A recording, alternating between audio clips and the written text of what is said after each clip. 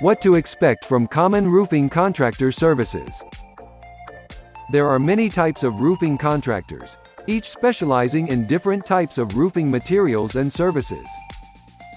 Most roofing contractors offer a variety of services, including roof inspections, repairs, replacements, and installations.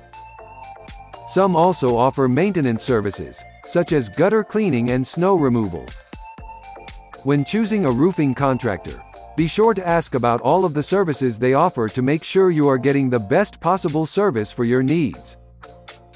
In addition to the type of roofing material, the roofing contractor you choose should also be experienced in installing that particular type of roof. For example, if you have a shingle roof, you will want to choose a roofing contractor who has experience installing shingles. The same is true for tile roofs, metal roofs, and any other type of roofing material. Be sure to ask about the contractor's experience with the type of roofing material you have to ensure they are qualified to install it correctly. Once you have found a few reputable roofing contractors in your area, you will need to schedule an appointment for an estimate. During this visit, the contractor will inspect your roof and give you a price estimate for the services you need.